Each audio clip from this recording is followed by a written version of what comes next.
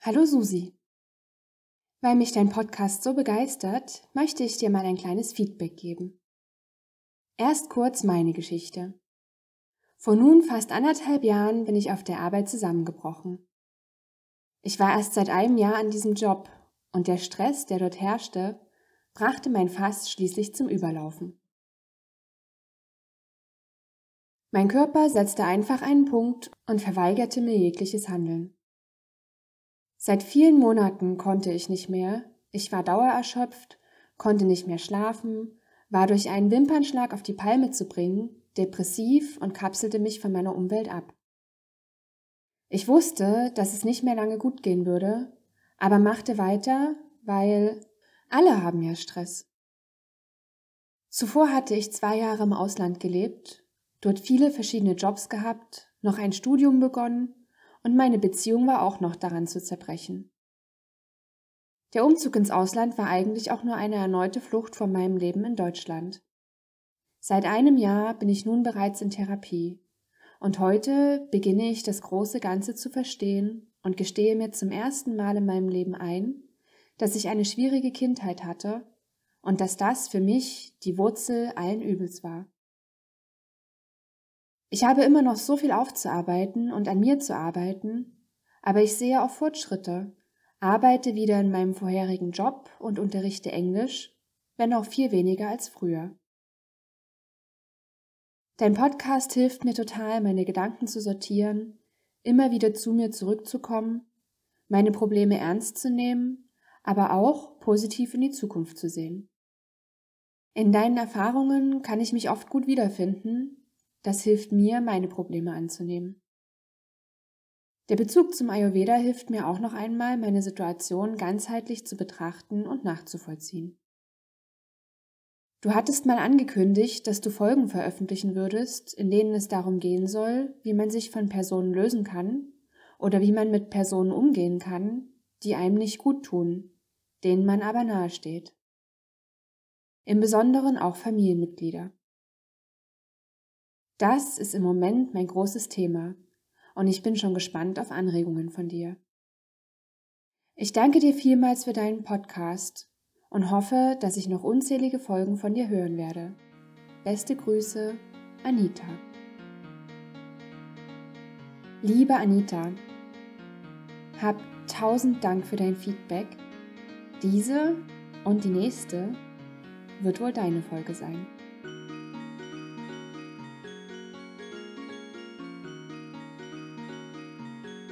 Schön, dass du wieder mit dabei bist bei Burnout von der Leichtigkeit des Seins.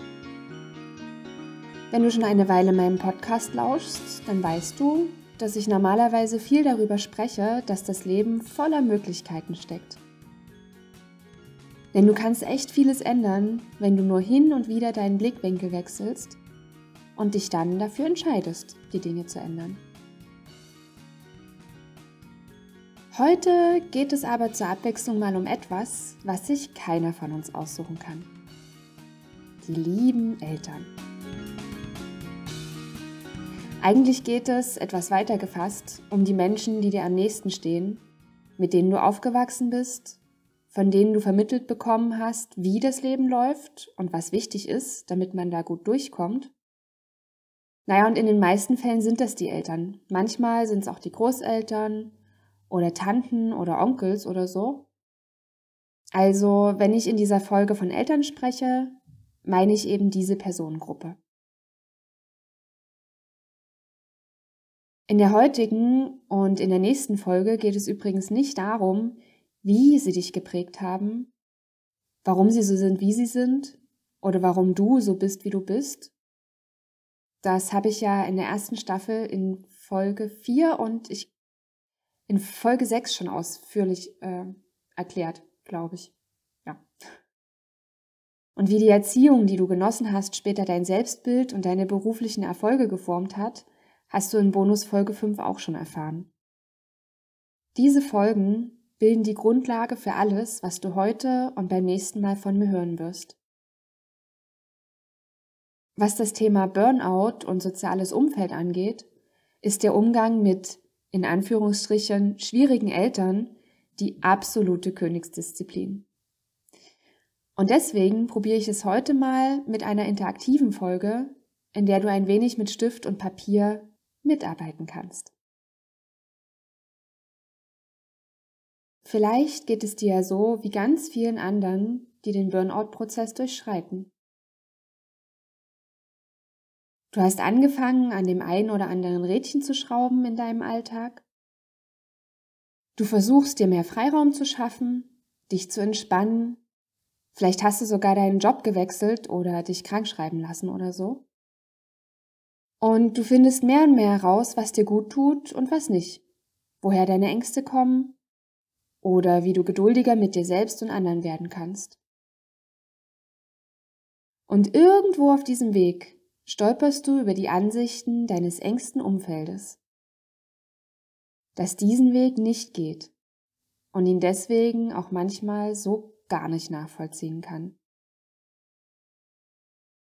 Wie zum Beispiel deine Eltern, die in einer ganz anderen Zeit groß geworden sind, die eine ganz andere Wahrnehmung haben vom heutigen Arbeitsmarkt, dem Internet, der Kindererziehung als du.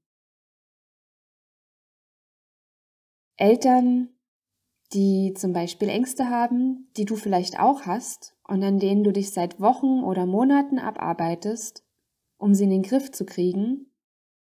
Eltern, die dir genau diese, nämlich ihre Ängste, immer und immer wieder überstülpen wollen. Vielleicht gehörst du auch zu den vielen Leuten, die sich gerade im engsten Familienkreis permanenten Vorwürfen, harscher Kritik und übergriffigen Verhalten ausgesetzt sehen und scheinbar einfach nichts richtig machen können. Und vielleicht kennst auch du das Gefühl, nie den Ansprüchen deiner Familie gerecht werden zu können oder auch das Gefühl, dass sie dich einfach nicht hören oder dich gar nicht hören wollen. Und je länger du deinen Weg aus dem Burnout gehst, umso klarer wird der Blick auf das, was war, als du Kind warst und auf das, was heute so abläuft, bei dir und auch bei ihm. Pass auf, damit wir den gleichen Ausgangspunkt haben, möchte ich jetzt nochmal was wiederholen, was ich schon echt oft in diesem Podcast gesagt habe. Du bist ja erwachsen. Du bist also nicht mehr abhängig von ihnen, wie du es als Kind warst. Was sie von dir und den Dingen, die du tust, denken, ist bei weitem nicht mehr so gewichtig wie früher. Theoretisch bestimmst du ganz allein, ob du etwas tun oder lassen möchtest, worauf du stolz sein kannst. Und theoretisch und objektiv betrachtet können deine Eltern dir also nichts mehr denn sie können dich dafür nicht mehr bestrafen, selbst wenn sie nicht einverstanden sind. Und sie können dich auch nicht aufhalten. Womit wir es hier also zu tun haben, mal ganz nüchtern und rational betrachtet, sind erstmal einfach nur verschiedene Wertvorstellungen oder Vorstellungen vom Leben allgemein, die sich begegnen oder auch regelrecht aufeinanderprallen, wenn du sonntags zum Kaffee bei deinen Eltern vorbeischaust. Nämlich deine und ihre.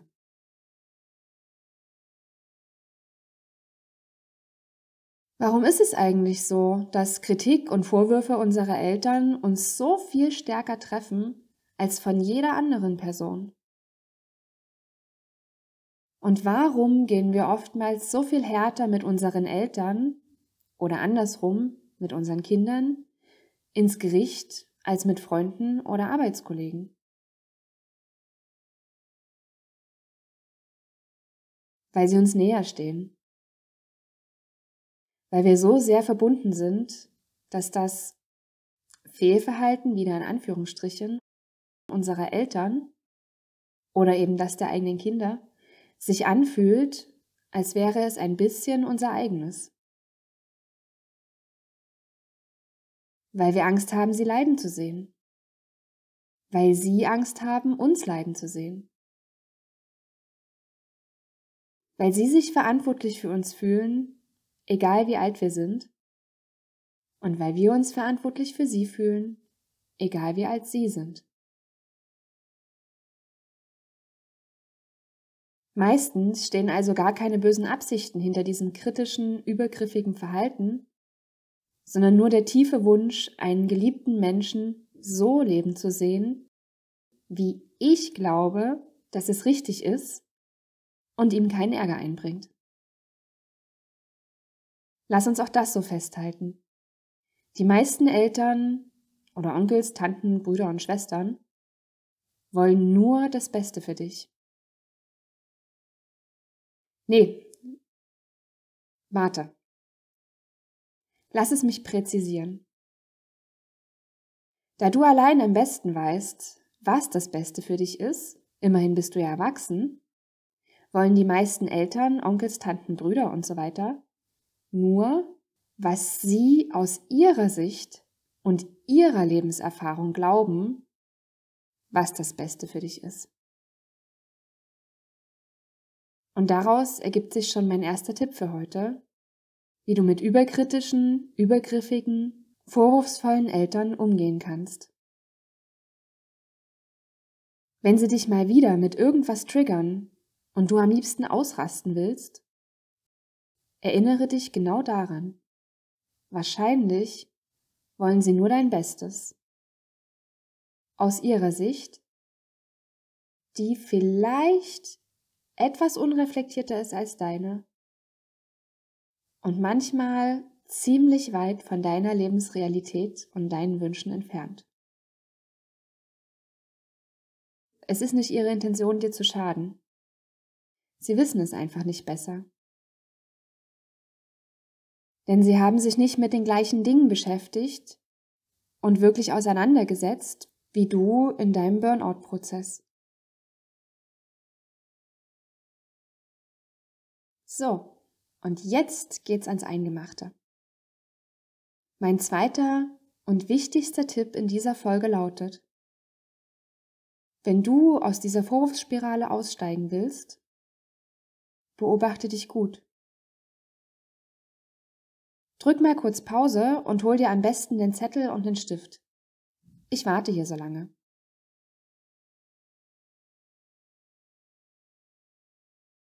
Hast du? Okay. Schreib dir jetzt folgende Fragen auf. Was sind die klassischen Sätze oder Gesten deiner Eltern, die dich triggern?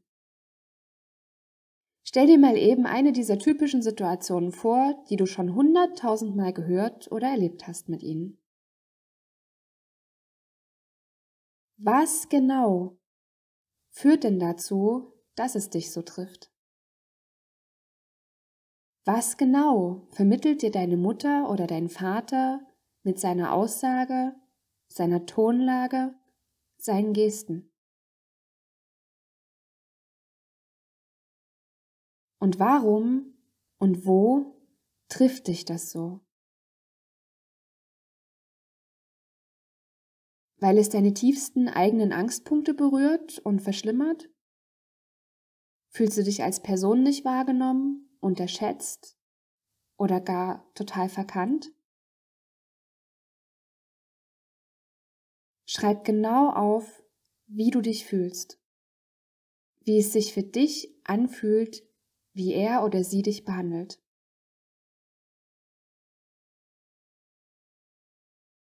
Und die nächste Frage lautet, was macht das in diesem Moment mit dir? Wie fühlst du dich danach? Und hat das am nächsten und übernächsten Tag immer noch Auswirkungen auf dein Wohlbefinden oder dein Selbstbild? Und wenn du dir alle diese Fragen beantwortet hast, leg Stift und Zettel erstmal wieder weg. Stell dir diese Ausgangssituation von eben nochmal vor und frag dich diesmal im Geist, was ist die Überzeugung, die mein Elternteil hat, aus der heraus es sich seine Sicht auf die Dinge bildet? Welche Erfahrungen haben dazu geführt, dass es solche Aussagen trifft, diese Glaubenssätze, Ängste oder Ideale hat. Und ganz wichtig, und das ist wirklich wichtig jetzt, glaube ich selbst, dass das, was sie mir damit vermitteln wollen, stimmt. Wenn du dich einmal aus deiner und dann aus der Perspektive deiner Eltern mit ihrem Verhalten auseinandersetzt, hast du die Möglichkeit, den Blick eines Außenstehenden auf die Situation zu bekommen. Am Ende wirst du wahrscheinlich beide Seiten ungefähr nachvollziehen können. Und das ist wichtig, weil oft in diesen Begegnungen mit in Anführungsstrichen schwierigen Eltern alles so aufgewühlt ist und so durcheinander geht und du so verletzt bist, dass es so schwer ist, das im Nachhinein zu sortieren. Jetzt, wo du das alles aufgeschrieben hast und diese Übung im Übrigen auch nach der nächsten Situation wiederholen kannst und sie konkret nochmal austesten kannst, jetzt kannst du entscheiden, ganz rational und mit dem Blick von oben auf diese tausendfach erlebte Situation, wer aus deiner erwachsenen Sicht Recht hat und wessen Ansatz sich für dich am besten eignet. Und wenn du zu dem Schluss gekommen sein solltest, dass du Recht hast, dann mach einen Haken an diese Diskussion.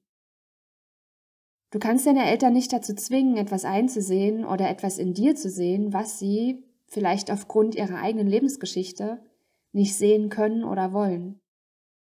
Aber du kannst für dich einen Standpunkt festlegen und damit auch, ob du dieses oder jenes Thema weiterhin mit deinen Eltern diskutieren musst oder nicht.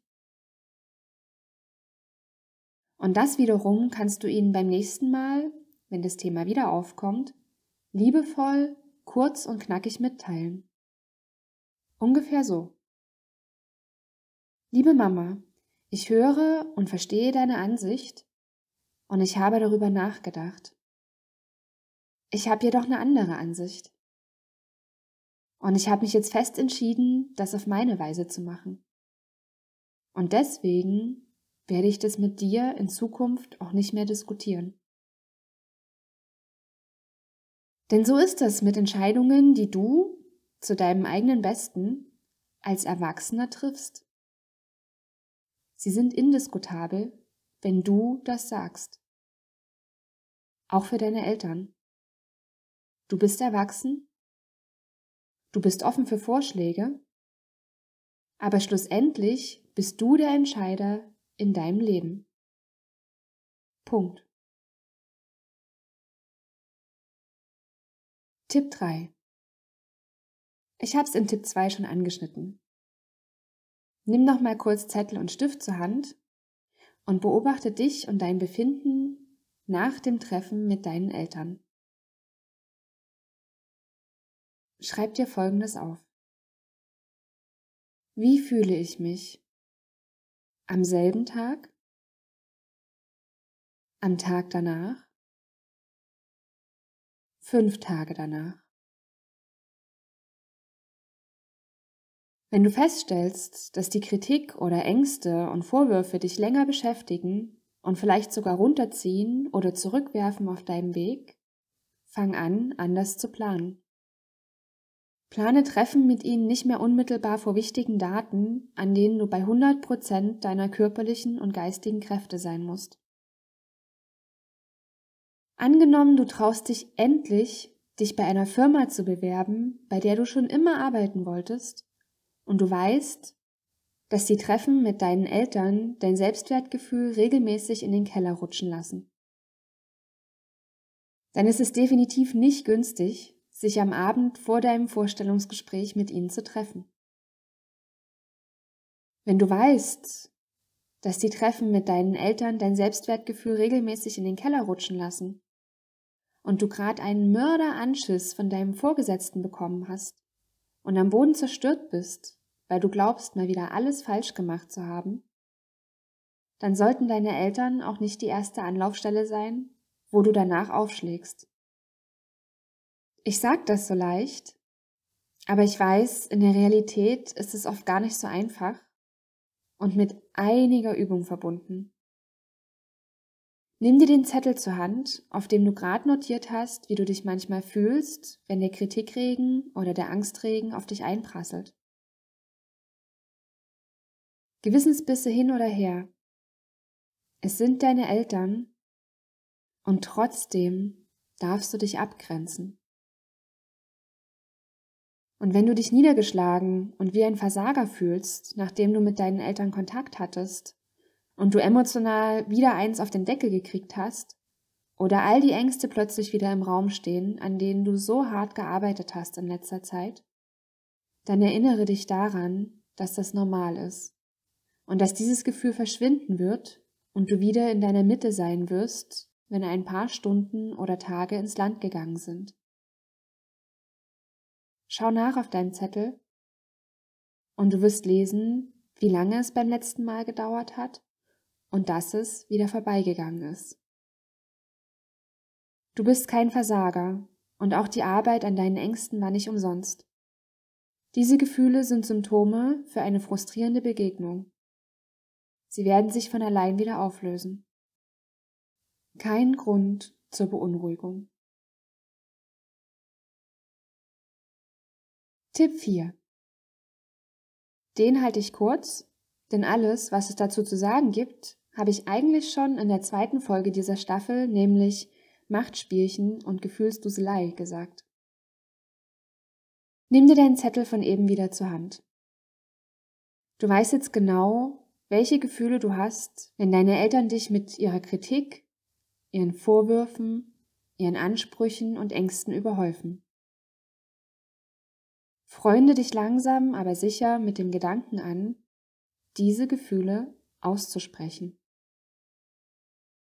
Zum einen haben es deine Eltern verdient, ehrlich von dir zu erfahren, wie es dir geht, wenn sie so mit dir sprechen und warum es dir so geht. Denn es wäre unfair, Groll auf sie zu hegen, wenn du nicht sicher sein kannst, dass sie wirklich verstanden oder zumindest von dir gehört haben, dass du nicht möchtest, dass sie so mit dir reden, weil es deine Ängste schürt oder dich verunsichert oder verletzt oder oder oder. Vielleicht denkst du, ah, Susi, das habe ich schon tausendmal probiert und sie hören mir nicht zu und sie ändern sich nicht und es ist total sinnlos. Was ist denn das für ein Tipp? Und ich sage dir, mach's nochmal. Mach's in einem ruhigen Moment. Nicht in einem Moment, wo alles aufgewühlt ist, wo alle schon sauer sind, wo ihr schon drei Stunden miteinander diskutiert und gestritten habt. Mach das direkt, wenn sie wieder anfangen mit den Ängsten, den Vorwürfen, der Kritik und so weiter. Versuch, das ohne Aggression zu machen, das so zu formulieren, wie du es in der Wutfolge zum Beispiel von mir gehört hast. Versuch einfach, eine Situation herzustellen, von der du selber denkst, dass sie so am besten hören oder verstehen können, was du sagst. Vielleicht hast du gar nicht so unrecht und vielleicht wird es nicht dazu führen, dass sie auf einmal alles erkennen und dich total verstehen und von einem Tag auf dem anderen ihr komplettes Verhalten ändern, was sie so seit 30, 40, 50, 60 Jahren haben. Aber für dich ist es wichtig, für dich wird es in Zukunft, wenn du dich abgrenzen willst, super, super wichtig sein, dass du weißt, dass du es wirklich nochmal ganz rational probiert hast.